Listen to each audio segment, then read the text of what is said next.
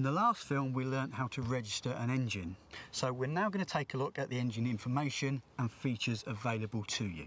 So let's get started by opening the Perkins My Engine app and logging into your account. Here we can see uh, dashboard and then we can click on all engines and you can see that the engine that I registered in the last video is listed here. If you do have multiple engines registered, uh, you can filter and sort this by different criteria, uh, for example, number of hours until next service, etc. If we click on this engine, it brings up the engine details page. And right at the top, it has what series engine it is, when it was last synced, plus the model number, serial number, etc. Scroll down and it will show me how many hours the engine has done to date and the number of hours until the next service is due. I can also consult the operation and maintenance manual.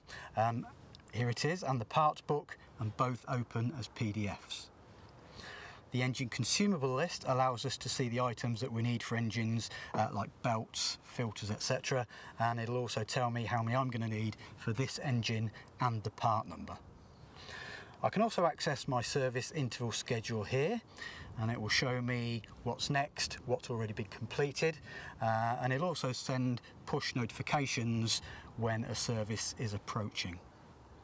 It also allows me to submit a service record and I can add the service engineer's name if I wish to do so. The app will then provide me with a list of tasks and I can select which ones have been completed and it will update the service history. So that's pretty much um, the overview of the engine and features available to you.